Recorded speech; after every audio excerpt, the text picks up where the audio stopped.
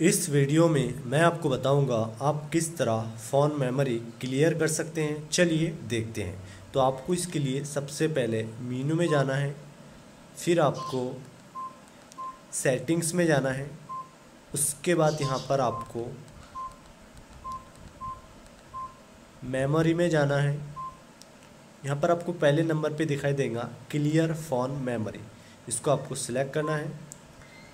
अब आप यहाँ पर जो है, आपको यहाँ पर टिक करना है। तो मैं ऑल कर देता हूँ टिक और क्लियर कर देता हूँ। उसके बाद आपको यहाँ पर फ़ोन पासवर्ड इंटर करना है। जो भी आपको होगा मैं इंटर करता हूँ मेरा phone password one two three four और ओके कर देता हूँ। Clearing will erase all data continue yes